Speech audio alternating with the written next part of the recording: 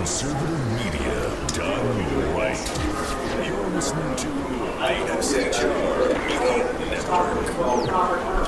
And welcome to Freedom Fest 2016, live from Planet Hollywood, Las Vegas, Nevada. I'm Sackhead Clint. To my right is Sackhead Sean again. Ooh. Not that anybody can see. Yeah, you keep throwing that out there like anyone's going to even care on left, right, but that's okay. Keep going. It's Freedom Fest, Sean. They care if you're left or right, what you are. Good point. We are sitting here today as part of the SHR Media Network uh, with Mr. Paul Dykewicz. Uh, we had an opportunity to speak last year, and uh, phenomenal author. He's the author of Holy Smokes Golden Guidance from Notre Dame's Championship Chaplain, uh, with a foreword uh, by Lou Holtz. Welcome back, sir. A pleasure to be here. How have you been? I've been doing great. Uh, uh, we've we've had a good year uh, with the book with the book, and we've got uh, a number of articles that I've been able to do about faith-based leadership. That's been uh, very powerfully uh, shown by a number of people, from Nick Saban at the University of Alabama uh, to John Harbaugh with the Baltimore Ravens, to a host of others. And you also had a demonstration of it with the Villanova basketball program, showing the unselfishness that that team exhibited the whole year by having their star player give up the ball at the very end of the game to an open teammate to hit the game-winning shot. No matter who hit that shot, they became national champions. Absolutely. So they fulfilled their goal nonetheless as a team.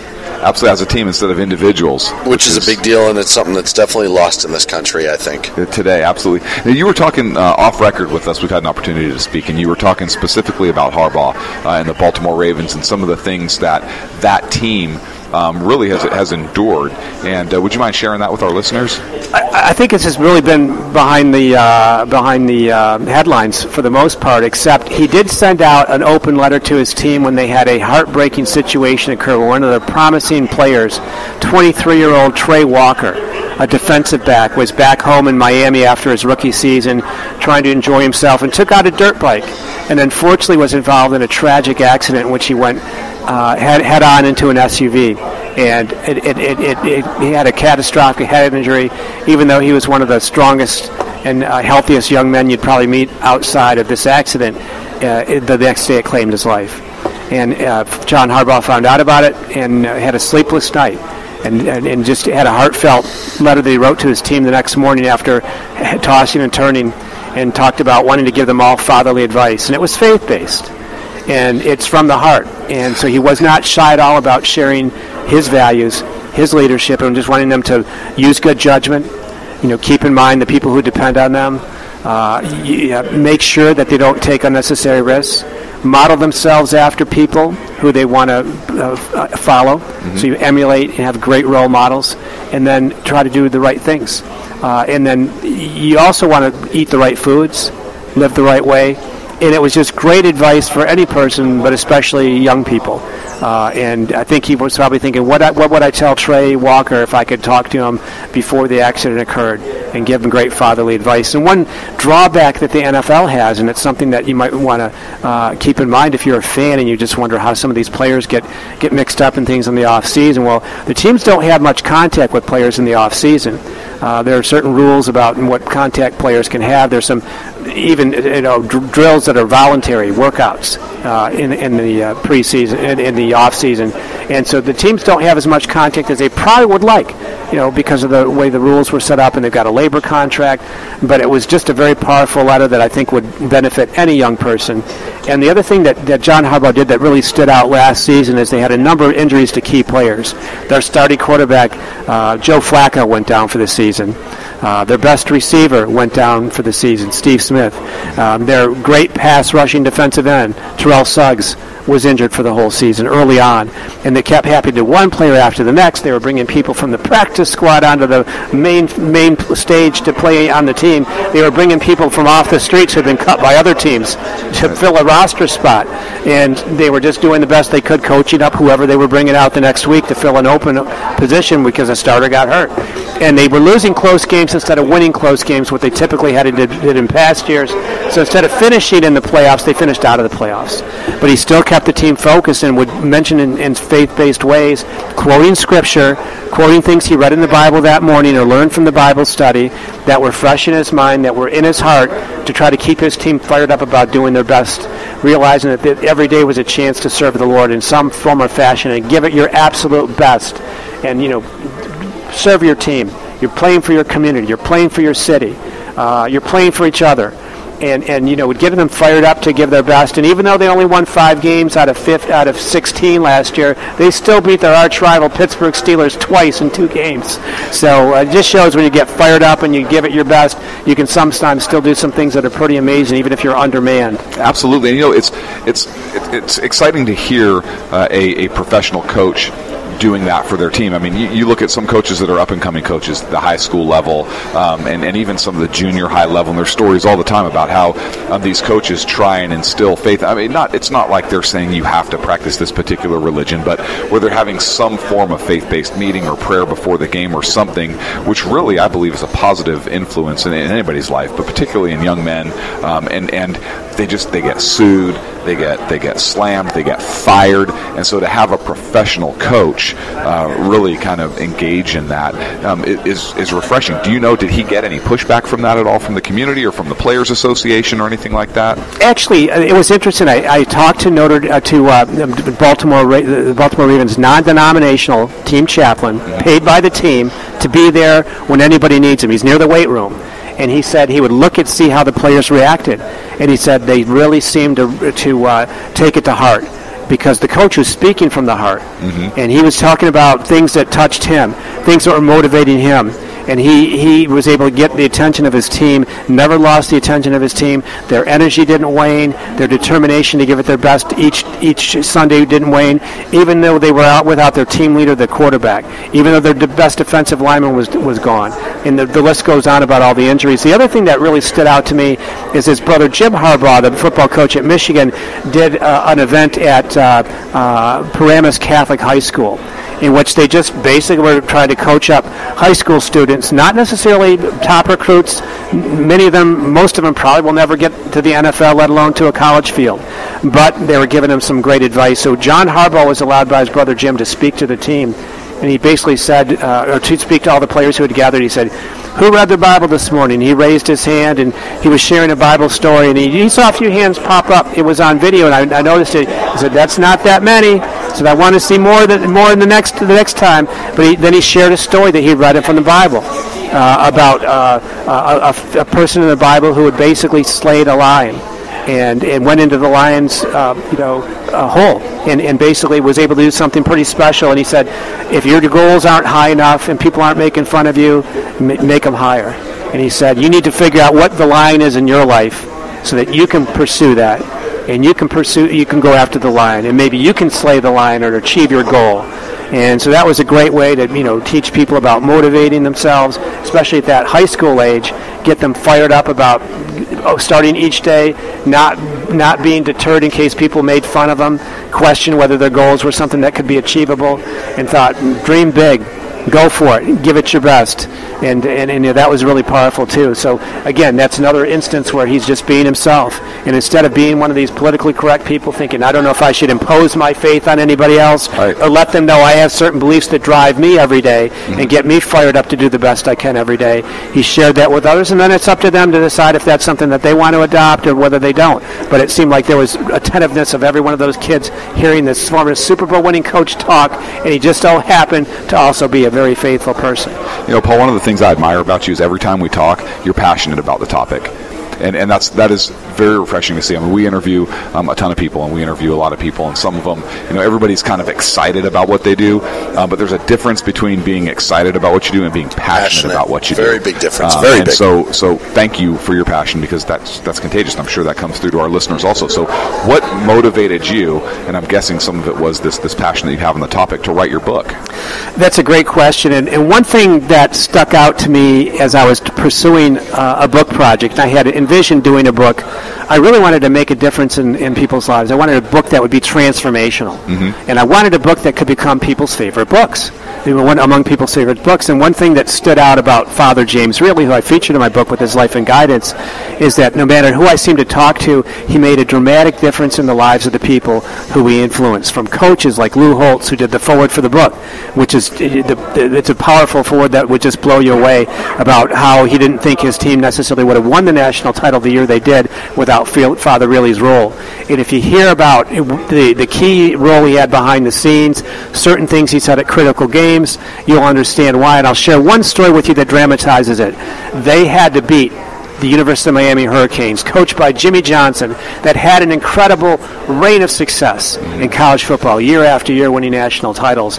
But to go through uh, Miami was the path to the national championship for Notre Dame. Well, no, Miami came to Notre Dame one Saturday in the fall and they basically were doing their exercises, and it was a pregame uh, situation. It was tense. It was known as the Catholics versus convicts game in the media.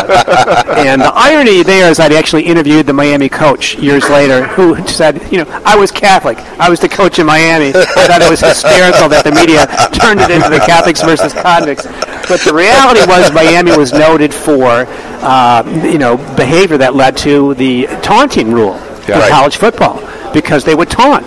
They would t- beat teams decisively, and instead of beating them with a sense of class and decorum, they would, you know, taunt and they would, you know, make fun of the other team.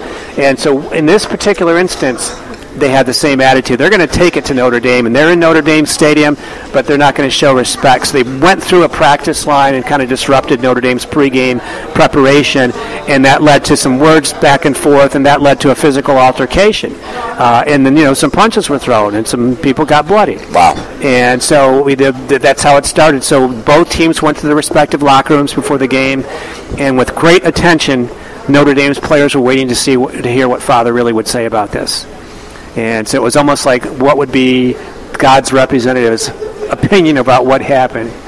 And I'll share a story that I put in the book. He said, Gentlemen, I can't believe the way that they behave. He said, I want you to, he said, they deserve to be put in their place. I want you to go out there and start this game. Notre Dame sacked Miami's quarterback seven times. The game went down to the last play, and Notre Dame won by a point when Miami's two-point conversion, with the pass going to former to future Hall of Fame receiver Michael Irvin was was stopped. Wow. Wow. And uh, Notre Dame won that game by a point, ended up winning all the rest of their games and taking the national title that season. Amazing. And it was it was just a, a couple years ago, two or three years before, where Notre Dame got bl- absolutely blown out by Miami. And it was quite a transformation with Lou Holtz taking over the head coaching job at Notre Dame, turning the team around, turning attitudes around. And Father Riehle was a key part of that inspiration. And that was really the reason because there's story after story about that, all behind the scenes you never would have heard about. But by talking to Joe Montana and Joe Theismann and Rocket Ismail, um, Reggie Brooks, it all became clear. And I'll share a story. Reggie Brooks later converted to Catholicism. He works at Notre Dame, but you might remember him as a you know perennial All-American running back. He went to the Washington Redskins when he was a healthy rookie, ran for over a thousand yards his first season, Yep. and and was just a, an amazing uh, you know player. Once scored a touchdown when he was unconscious, uh, and, and and the story there is where he was hit by a Michigan uh, linebacker before he crossed the goal line on a goal line plunge, and he held on to the ball even though he was sort of knocked unconscious. He crossed the goal line with the ball before he fumbled it. They went to the replay. They looked at it. They ruled that he had crossed the ball with Wow. the ball with the- the goal line with the ball still in his possession. So that's the story about Reggie Brooks scoring when he was unconscious. However, there was one situation after the next that Father Riehle noticed Reggie Brooks would get very nervous before football games. You think he's been in all kinds of high school games. He's been in Notre Dame games before on the big stage. Yeah. He would get so nervous. So uh, Father Riehle realized that he'd been a former salesman before he became a priest. So he knew how to talk persuasively, but also how to listen and read people. So he realized Reggie needed to be loosened up a little bit before the games. And Father Riehle had a great sense of humor. In fact, one chapter on its own is just about sharing a sense of humor. And so Reggie said Father Riehle would always find a way to make him laugh. He'd come over, talk to him in some, some form or fashion, no matter what would, what it would be, he would find a way to make him laugh, make him relax, and Reggie could go out and play a great game. The other thing that Reggie used to say before he became Catholic, when he was still uh, just a student in Notre Dame, he said Father Riehle always found a way to tie the game into the Mass. The homily would somehow always connect the readings to the game and getting, you know, doing your best for the Lord. And he said there were some times where there would be a reading, and he said, no way he's going to do it this Saturday. This is going to stump him. Not even the great Father James Riehle, the legendary Notre Dame chaplain, is going to be able to tie these readings into the game. And he said he always found a way to do it, and it just blew him away time and time again. So those stories just kept getting shared by these prominent athletes and coaches who didn't have to give me the time of day. Rocket Ismail gave me more than an hour of his time. Red Wow. Brooks, you know, very generous with his time too, probably almost as much. You know, people like Joe Montana, Joe Theismann, Red, you know, you, the list goes on. Ara Parseghian, you know, Digger Phelps, Dick Vitale. You talk about Father Riehle? Oh, absolutely. I've got more stories to share with you. and so what I did is I actually took another full year to reorganize everything into individual chapters to guide you properly. And Father Riehle was kind of a very humble person. And he might not have liked a biography about himself. And I kept thinking about that. I was trying to, or, tried to organize it. However, he would love a book that helped people because that's so much of a part of what he did. Right. Including in the movie Rudy, where he appeared as the uh, priest in the locker room before Rudy played his only game. And he was also part of the composite character Father uh, Cavanaugh in that movie. Yep. And every time F- Rudy needed him, Father Cavanaugh was there, day or night. And so Father Riehle, really liked to help people and use some of his uh, experiences with with them. The other thing that stood out about Father Riehle that Clint that I think is very important to keep in mind is that he had a hard life. His father died when he was a Notre Dame freshman, Wow. suddenly of a heart attack. So if you can imagine you're a freshman at Notre Dame trying to make all these adjustments, trying to deal with the academic pressures, and you know, just you know, have have a transition, you know, from being uh, at home to being at school, and then to get the, the word that your father just died, and suddenly he's the he's the man of the house, he's the oldest son, and he's got to go back home. And he had to leave his school and uh, and finish his degree in Pittsburgh. He didn't have the money to finish the degree. And you know, and then he became a champion fundraiser when he got to Notre Dame as a priest later later on.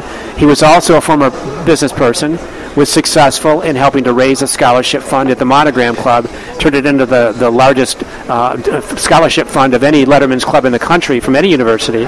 Uh, largely through his efforts. So, for a priest to be somebody who could have business acumen, Yeah, and, and it's a big invest, deal. invest wisely. And there probably there are many students out there now who have Notre Dame degrees who otherwise wouldn't have been able to afford to go there or continue their degrees. One of the one of the most powerful stories I'll share involves a dentist who was not a star player. He was a walk-on, and he uh, and he got a, a spot on the baseball team. He didn't play much. In his senior year, he decided not to play to focus on his grades to get into dental school. Well, his daughter ultimately got to Notre Dame, and when he was a freshman, he was not going to be able to continue on. He was going to transfer to the University of Minnesota due to lack of funds. Father Riehle caught wind of it, heard about it, called him up and said, is there any other reason other than finances you're not coming back in the fall? He said, no, that's it. I loved it. He said, well, you come on back. You get your stuff. You bring it over here. I'll go talk to the talk to the scholarship folks. We'll we'll, we'll, we'll, we'll, we'll get we'll, we'll get this worked out. That's amazing. He got him more scholarship money, and then he also had to call in a favor to a friend who said, if you ever have anybody you really feel special about who needs some financial help, you call me and I'll do it. He said, I've got somebody just like that right now. Wow. And that student, even though he had a lot of dirty jobs, he did enough he could during the, during the, uh, the non-school year to raise money. But he ultimately got a Notre Dame degree, and not only did he become a successful cosmetic dentist, helping people with restoration if they had an accident, you know, making sure they had nice smiles afterward. His daughter was able to get a Notre Dame degree, and that's just an amazing tribute to him.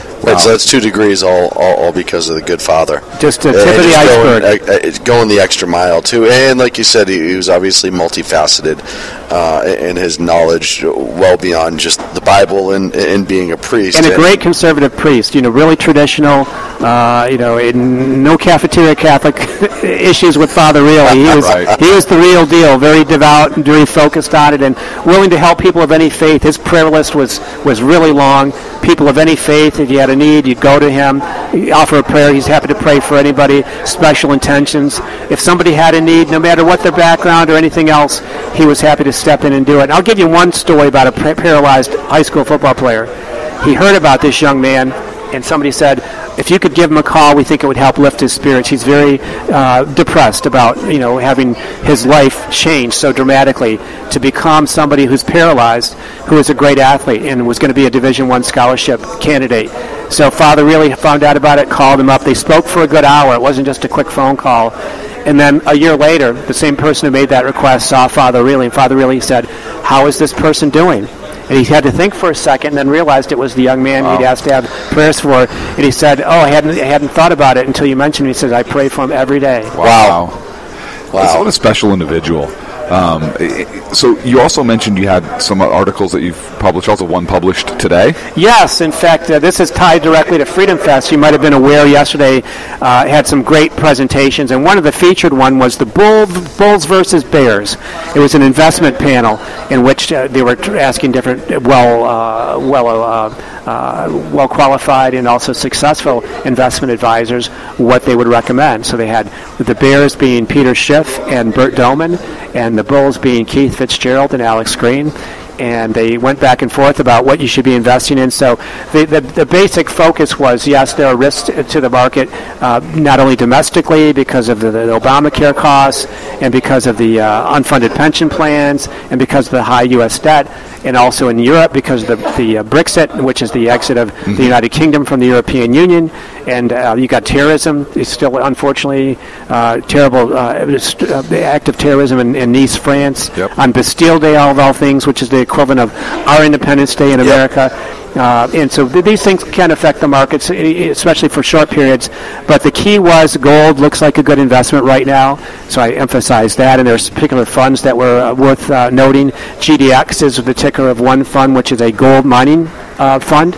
Also, if you're wanting to take a little bit more of an aggressive position, more speculative position, you can go to GDX.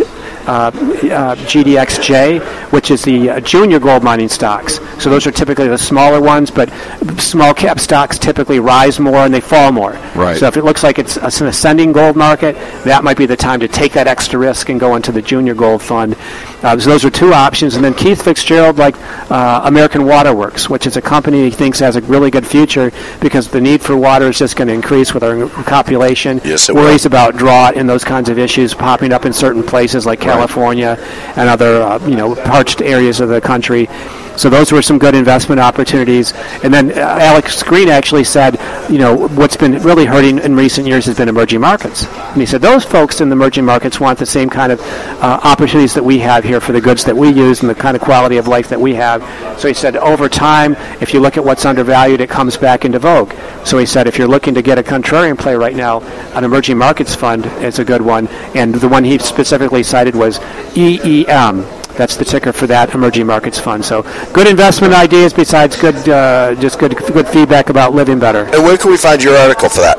That uh, a couple places. One, Eagle Daily Investor. Uh, it will be posted there. It, it's actually also on humanevents.com, and uh, over the weekend it'll be posted on townhall.com. So Outstanding. three places right there. And then you can always go to my website for my book. It's holysmokesbook.com. The columns uh, and my articles are all funneled through there. So if you look at my latest uh, writings, you can find that on my book's website as well. Do you have any book projects in the works? I do. I've got a project uh, I'm working on with the most miraculous or inspirational stories of various clergymen, and uh, there's another one that I'm um, interested in doing. Um, there's a, uh, an instance about divine mercy in practicality. There was a young man who was killed in a car crash, 17-year-old hockey star. Uh, the driver was a graduate student who otherwise might have had to leave graduate school because they were at the Uniformed Services University and they were part of the military. So instead of having the most draconian penalty applied to this driver, uh, the parents asked the local prosecutor not to have manslaughter charges brought because that would have forced the person out of the military, whether the charges would have been proven uh, beyond a reasonable doubt or not. Right. And so they had to reach out, write a letter, intervene, went and contacted the person who was the driver, uh, let them know they were praying for them. They wanted to make sure that they were going to be okay. And with that sense of forgiveness, that person has had an amazing ability to come back from knowing that she was responsible for killing a young man. And, and looks like she's going to graduate. Uh, I talked to her about a month ago. Graduate, and so these parents and the, the young man who was killed were uh, proponents of divine mercy. And so what happened is it really took it from an, an abstract concept into a practical situation, and it's led to tremendous healing both for the family that suffered the loss, as well as for this young lady who now can do good things as a clinical psychologist Wow. once she finishes her, her graduate school training, and she's working on finishing her PhD studies. Do you have a name for the book yet or for your project? No, I don't. And then there's also another one I'm, I'm looking to do on dividends, uh, income investing. There are a lot, especially with people right now getting a pittance for their you know, bank account savings. Right. Uh, there are a lot of investments you can use to get some income that's not very high risk, and so I think that'll be a benefit. The question of how many hours in the day I have to work on all these projects. I was just Well- going to ask you. My my next question is, do you ever stop? You know, I, I realize I've got a limited number of years on uh, on this earth, and I try to have some fun and do things I like recreationally. Right. You know, and, and but I also realize that I've got some time outside of work, and I, I try to maximize it. And uh, you know, these these transformational books I think are something very special, and I'm just hoping to do one after the next and be productive. And, and one of my mentors is Dr. Mark Skousen, who runs Freedom Fest, and he's done over 30 books. So I look at what he's accomplished, Yeah. turning out about a book a year, and I said, well, if, if Mark can do that, I can do that. And you know, I'll tell you what, if you want a really motivational book, you can write it on the Sackheads and about how two knuckleheads transformed internet radio. I'm just throwing it out there. That could be another book down the road. Just keep up the good work you guys are doing.